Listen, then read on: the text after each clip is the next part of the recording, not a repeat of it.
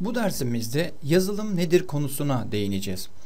Öncelikle yazılım nedir sorusuna cevap ararken programlama olarak adlandırılan yapıda değil, temel olarak bilgisayarı önceki derslerimizde iki ana bölüme ayırmıştık. Bunlardan bir tanesi donanım yani elimizle dokunabileceğimiz parçaları İkinci bölümü ise yazılım olarak nitelendirmiştik. Yani elimizle dokunamayacağımız fakat bir kullanıcı için en önemli bölüm.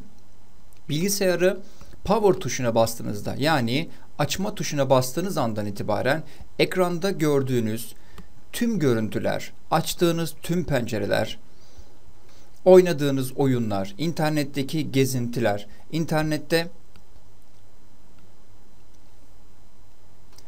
Bir bilgisayarın eksiksiz olarak donanımını bir araya getirseniz bile herhangi bir yazılım olmadan o bilgisayarı kullanmamız mümkün olmayacaktır.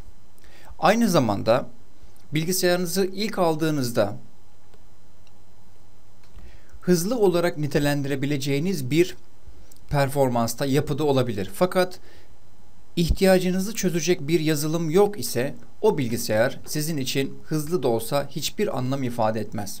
Örneğin Fotoğraflarınızı bilgisayarda işlemek için herhangi bir fotoğraf yazılımı, fotoğraf işleme yazılımı yok ise o bilgisayar sizin için hiçbir anlam ifade etmez. Yani bilgisayarları zenginleştiren, bilgisayarın yeteneklerini artıran en önemli e, yapılar yazılım kısmıdır.